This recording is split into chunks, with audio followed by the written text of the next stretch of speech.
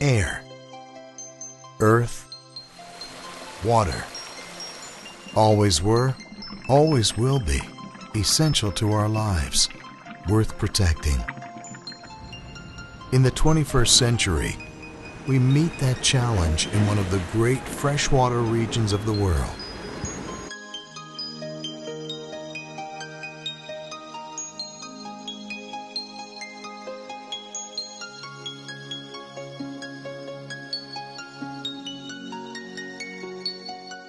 Project Clean Lake is the Northeast Ohio Regional Sewer District's 25 year commitment to clean water in our region, specifically to address the combined sewer overflow issues that have been plaguing our region for decades. Our region has an older sewer system where the stormwater and sewage is contained in a single pipe. And that single pipe is fine when it's not raining, but when it rains, that single pipe is not big enough. And our current system overflows during rain events from that sewage pipe into the environment, into Lake Erie and the surrounding streams. When it rains, instead of overflowing into the stream and, to, and into Lake Erie, the water will drop down into a deep storage tunnel. It'll be held there until the rain subsides. And then at some point then, it'll be pumped out and discharged into our wastewater plant where it will be fully treated prior to being discharged into Lake Erie or any of the rivers. Euclid Creek is one of seven huge tunnels that will safely store water overflow until it can be treated. A tunnel. Sounds simple enough. In fact, it takes an expert to build a tunnel.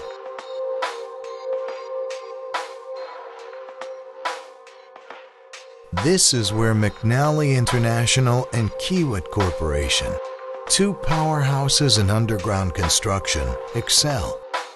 An established joint venture, uniting knowledge, experience, equipment, local presence, talented people, and the day to day partnering skill it takes to complete cost effective, large scale infrastructure projects on time. Building Euclid Creek Tunnel McNally Kiewit brings Northeast Ohio three and a half miles closer to realizing the vision of Project Clean Lake. Combined, McNally and Kiewit have over 150 years of underground experience working on underground projects. That allows the company to use proven construction methods to ensure the highest quality project to our owners, our clients. It's not just the two organizations, it's bringing in other contractors with experience to bring everybody together and to be able to manage people uh, is a huge undertaking and one that requires a lot of experience to be able to do that. One of the things the owner likes to have and, wants a good quality project. They want to hire a contractor uh, that's responsible um, and what we do going in is, is we like to have an open, um, transparent relationship with the owner. Uh, partnering, team building, uh, laying any issue that's out there down on the table so that we can discuss and work through those issues. At this point in the project, being a month ahead of schedule goes 100% towards the, the staff and having the right people in place along with the workforce to be able to execute three shift mining and to keep the maintenance uh, done when it needs to be done. I've been very, very pleased with the McNally Kiewit um, joint venture. That was the low bidder on Euclid Creek Tunnel in terms of the quality of the people that they deployed to the, to the project. Very often you can get a good contractor, but you don't get their A team, you get their B team. I think in the case of Euclid Creek Tunnel, that we got lucky. We got a good contractor and we got their A team. I feel that the relationship's been very positive. I feel that whenever I've had an issue as a client, they've been able to, they've been open to listening to the issue. They've been amenable to taking action to try to resolve the issues. And it's been a very positive, uh, it's been a positive relationship. And I'm, I'm happy with the end result.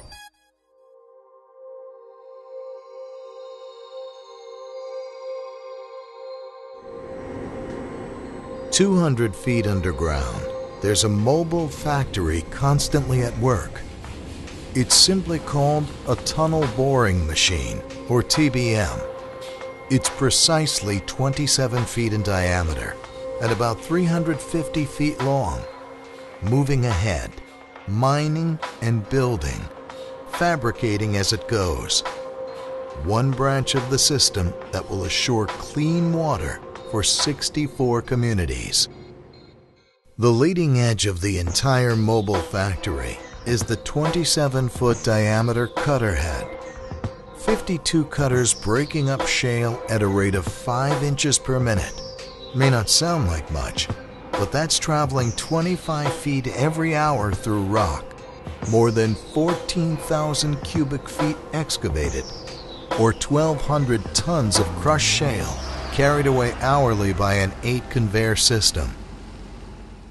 A well designed conveyor system is important to the tunnel operation because if the conveyor system can't keep up with the TBM, then uh, it's just going to limit the rate that you can build tunnel and mine tunnel. It's important to size the conveyors appropriately to the advance rates that you want to be able to achieve.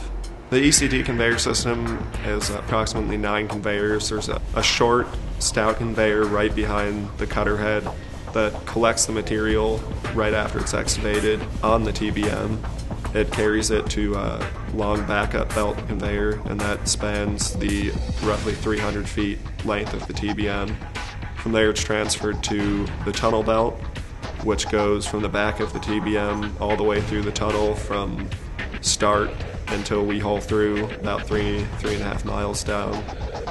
All told, more than 36,000 feet of conveyor, perfectly maintained and constantly moving with the cutting cycle through the tunnel and straight up 200 feet to the surface.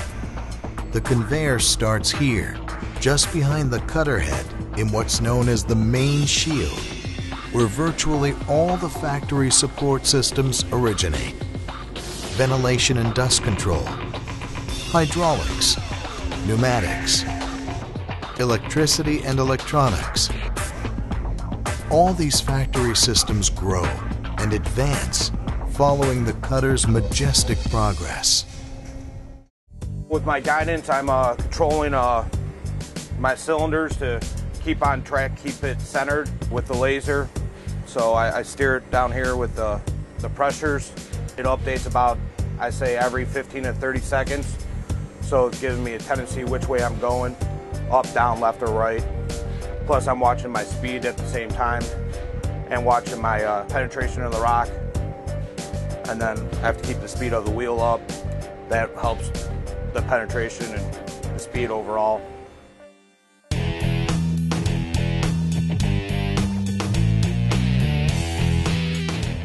Every 15 to 20 minutes, it's time to build. During the mining cycle, custom-built rail cars guided by diesel locomotive move down the tunnel track to deliver to the unloading station locally fabricated precast reinforced concrete segments. Six segments form one complete ring of the finished tunnel wall. Transferred to the feeder table by vacuum-powered crane, each segment is indexed for the erector. Basically, the segments uh, come from the top, they come down to us, and then uh, we put the rings in place after they, uh, they mine ahead and then when we're done uh, placing the rings, then they can continue to mine, and then we just keep the process going. The computer tells us where we're going to place the first stone. We grab the stone, we set the stone, and then there's holes, dowels in the segment that's already built that'll accept the dowels from the new piece. We actually slide our ruler across the stones to make sure that they're flush with one another and then place it from there. The erector will hold it in place while the cylinders come out and push it into place. And then once we get two pieces in, we'll start bolting. And then there's bolts that go in all the pieces to, you know, keep it together. Now comes the most challenging part of the build cycle. Between the inside diameter of the tunnel and the outside diameter of the ring, there's a gap and unlike soil, shale doesn't move in to fill it. On top of that, voids in the uneven rock surface have to be filled if the tunnel is to have structural integrity. The answer is grout, of course. We worked for about a year to get the mixture correct. We started with something we thought would work and then we kept testing it and testing it. The grout needs to cure within a short amount of time to be able to support the segments and keep them in place. Within the first 15 to 20, 30 seconds, we need it to quit acting like a liquid. We need it to become a gel. In eight hours, we need it to have 40 to 45 psi, pounds per square inch of compressive strength. And then at 28 days, we need 500 psi of compressive strength. The advance of the TBM depends on the stability of the rings uh, in that the rings can't squat. We, we can't afford to have any movement of the rings, otherwise the segments that make up the ring will start to break. From the surface plant to the holding tanks on the tunnel boring machine, we will have approximately three and a half miles of two and a half inch diameter steel pipe. Mixing and injection of the grout and accelerator from four discharge points in the tail shield are visually tracked and meticulously monitored and controlled as to rate, pressure, and volume, taking into account all the imperfections produced by the mining cycle, machine wear, and the state of the delivery lines to ensure the right grout take. It matters uh, significantly to get the right amount of grout in behind the lining. If you put too little in, it creates voids, and this, these voids are a problem in the long-term condition of the tunnel. The grout on this project was a significant risk, uh, and one of the reasons we, we identified it as a high-risk item to manage was the fact that it is a real possibility that you could stick the machine and never be able to move it again. The hard-working people creating the Euclid Creek Tunnel have expertly repeated the cycle of mining and building, inspection and testing, troubleshooting and maintenance more than 3,500 times between the day the service shaft was ready and the tunnel boring machine constructed and in service on August 10, 2011 until the August 2013 breakthrough to the terminus shaft. When we hole through, it's just it's it's the light at the end of the tunnel. You've come through. You've, you've broken rock with steel for three miles. It's pretty satisfying. The day we hole through, as we call it, uh, that's like winning the Super Bowl or something. While you're mining, there's always a concern what's around the corner. Are we going to hit bad rock? From once you hole through, it's you can breathe a sigh of relief. You're done. That's the outcome of a sophisticated underground factory, continuously building itself while in production three shifts per day. On any given day, we could have anything from 80 to 100 trucks coming in and out of our site. I have to be in charge of getting rid of all the shale that comes out of the tunnel. It's a 27 foot diameter tunnel, so that's a lot of muck coming out. Then we got the concrete segments coming in, and that's got to be scheduled, unloaded by the crane we have a safety meeting every Monday morning and uh, we discuss what we're going to be doing that week. The number one concern is the safety of everybody. If one person gets hurt bad, that defeats the whole purpose. Our relationship with McNally Kiewit has been a good relationship. We have very open communications on the project. We talk every day. We work through our issues before they become problems um, and has really led to the success of the project.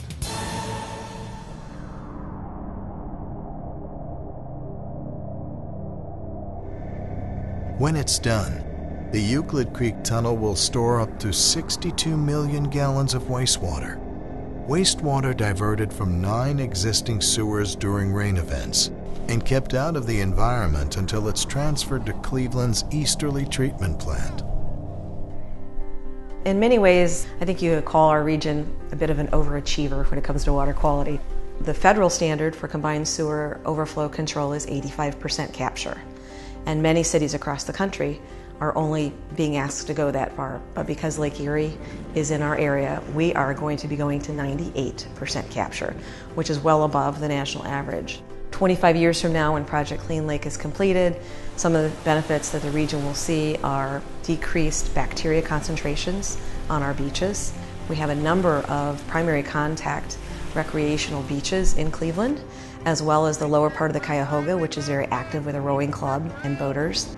So those areas will have less bacteria in them as a result of Project Clean Lake. We are very excited about our partnerships with the communities and hopefully leaving behind some amenities and as a symbol of the Project Clean Lake that they have invested in in the region, in addition to the water quality benefits that'll be realized on the beaches and in the Cuyahoga River. Water. Simple, natural, essential. In the 21st century, it's second nature to protect and secure for the future a pure resource we can take for granted every day.